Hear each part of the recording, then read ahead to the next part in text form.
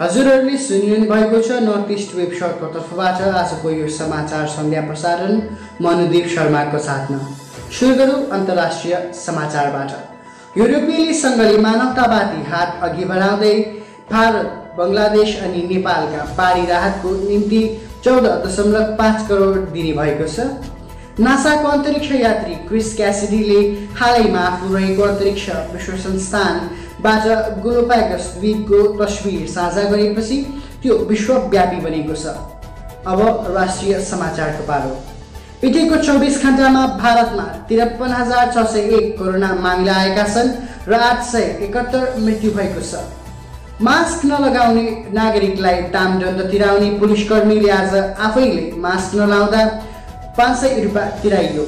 उत्तर प्रदेशको यस घटनाले कानुनको ताकत पूर्ण रूपले दर्शाइएको छ र कानुन बन्दमाथि कोही छैन भन्ने उदाहरण दिएको छ। चण्डीगढमा आफ्नो पुलिसकर्मी पिताको कोभिड उन्नाइसले गर्दा भएको निधनपछि सदमा सहन गर्न नसकेपछि केही घटनामा उनको छोरीको पनि मृत्यु भएको छ।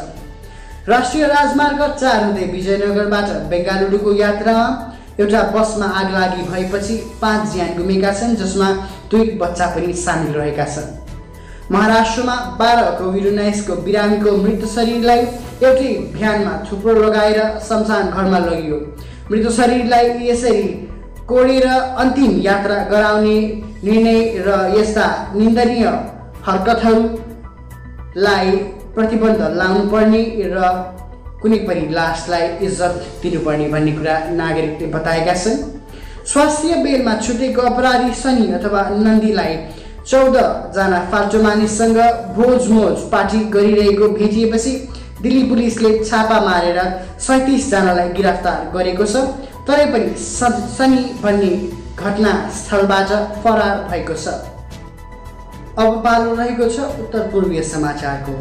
नागाल्यान्ड कोहिमाका धेरै जस्ता क्षेत्रहरूलाई कोरोना फैलाउमा नियन्त्रण ल्याउनको निम्ति सिल गरिएको छ। रानीपुल बजारबाट एघारवटा नयाँ कोभिड मामिला आएपछि बजारलाई कन्टेनमेन्ट जोन घोषित गरिएको छ।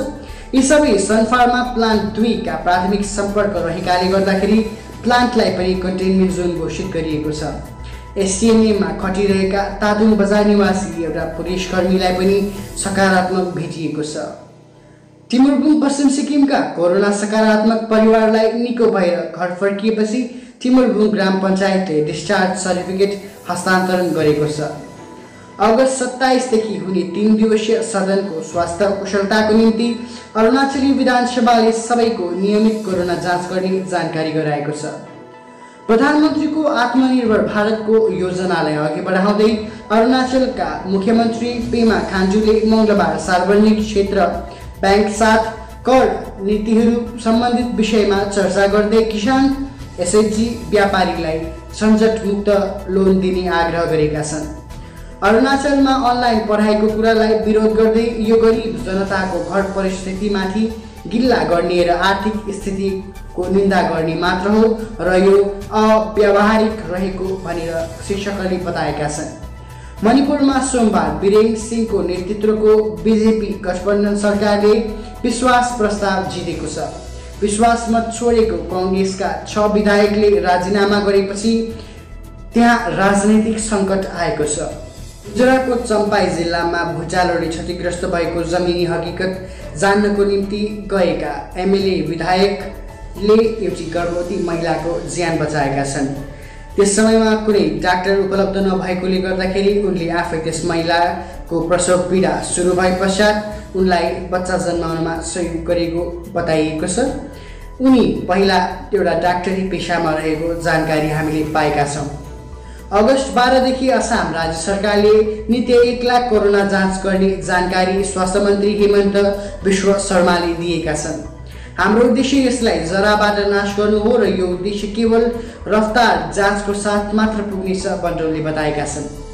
श्री बसुराम राई र श्रीमती मिना कुमारी राईकी सुपुत्री डाक्टर सुशान्त राईले पिएचडी शोध प्रबन्ध सफलतापूर्वक सकेकी छिन्। लोकतन्त्र राजनीतिक सहभागिता र महिला सिक्किमको अध्ययन उनको शीर्षकले तन्त्रको चरणमा महिलाको सहभागिताको बारे छलफल गरेको छ। उहाँको उज्जवल भविष्यको शुभकामना गर्दछु। धन्यवाद। आजको समाचार प्रसारण पुरा भयो।